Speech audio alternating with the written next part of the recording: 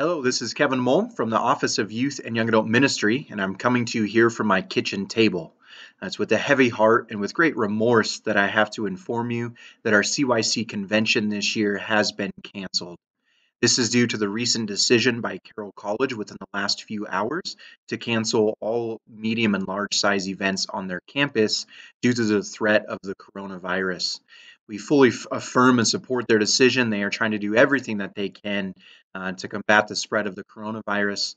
And so, what we are trying to do is look for some opportunities where we can still connect young people and to continue to spread the gospel of Jesus Christ and to share that with young people as far and as wide as we can.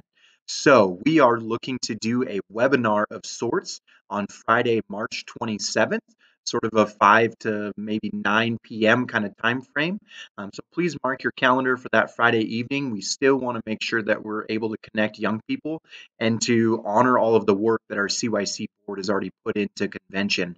So that might include a, a variety of uh, recorded sessions, uh, maybe some live stream events using social media, some chat options as a way to connect young people and still to continue to spread the message that God has given us to be courageous, for you are worthy.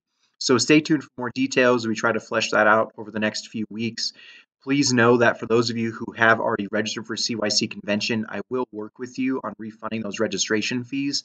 I just ask that you please be patient in this time that is uh, really straining our resources and information is changing on a daily basis. But please know that I will work with you uh, and stay tuned for more details. So uh, please continue to pray for us and the young people of our diocese, and I will keep praying for you. God bless.